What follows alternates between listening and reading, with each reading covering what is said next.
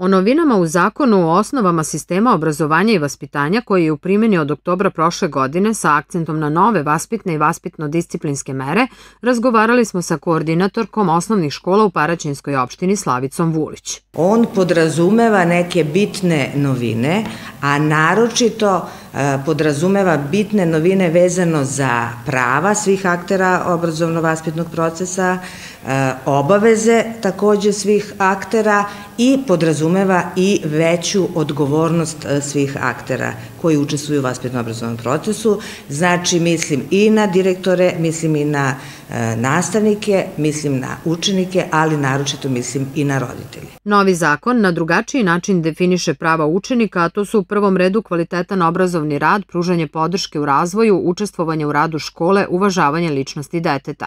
Roditelj ima mogućnost da ukoliko misli da su prava njegovog učenika a to je pravo na kvalitetan vaspitno-obrazovni rad, ako su ugrožena, onda može da podnese prijavu direktoru škole, ukoliko je nezadovoljna, može da podnese prijavu i samom ministarstvu.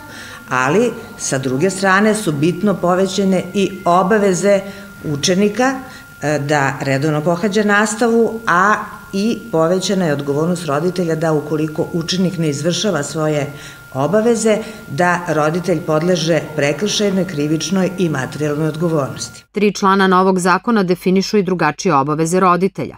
Roditelj je po članu 84 odgovoran za upis deteta u školu, za redovno pohađanje nastave, za redovno pohađanje pripremne nastave, da odmah, a najkasnije u roku od 48 sati obavesti školu ukoliko njegovo, njegovo dete ne može da dođe u školu, onda da najkasnije u roku od 8 dana od kada je dete ponovo počelo da pohađa školu, donese u školu neki relevantan dokument, lekarsku dokumentaciju, zbog čega dete nije išlo u školu, da na poziv škole uzme aktivno učešće u svim oblicima vaspitnog rada sa učenicima, e, što bi značilo da ukoliko se protiv nekog učenika povede vaspitno-disciplinski postupak, njegov roditelj je uredno obavešten da je taj vaspitno-disciplinski postupak zakazan za određeni dan. Ukoliko se roditelj ne odazove e, tom pozivu, onda je škola u obavezi da odmah narednog dana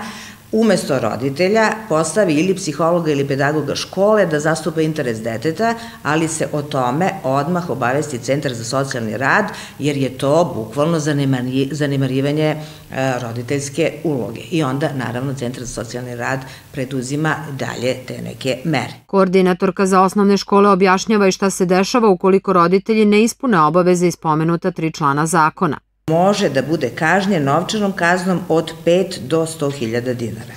Ukoliko su u pitanju povrede zabrane, onda roditelj može biti kazno, može biti kažnjen kaznom od 30 do 100 hiljada dinara i predviđena je još jedna vrsta kazne e, za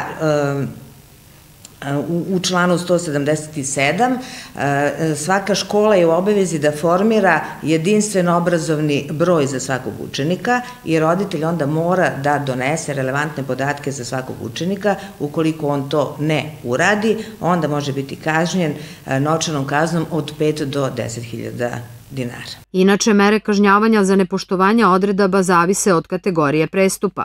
Kada su u pitanju lakše povrede učeničkih obaveza i dalje imamo iste vaspitne mere, znači imamo e, opomenu, imamo ukor odeljenskog starešine, ukor odeljenskog veća. E, škola mora da sprovede e, vaspit, mora da uradi sa tim učenikom vaspitnu meru. Mi sada imamo i društveno koristan rad, humanitarni rad koji se sprovodi naravno u saglasnost roditelja i u okviru ustanove. Odeljenske starešine imaju obavezu da rade sa tim učenikom, isto kao i do sada.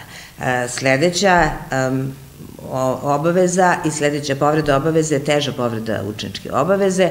To je takođe predviđeno kao i do sada iste vrste kazni, ukor direktora i ukor nastavničkog veća i kada je u pitanju znači povreda zabrane, onda imamo i tu meru, a to je prebače jednog učenika iz jedne škole u drugu školu, bez saglasnosti roditelja, a do sada je moralo da ide u saglasnost roditelja, ali sa saglasnošću te druge škole. Kaže koordinatorka osnovnih škola u Paraćinskoj opštini Slavica Vulić.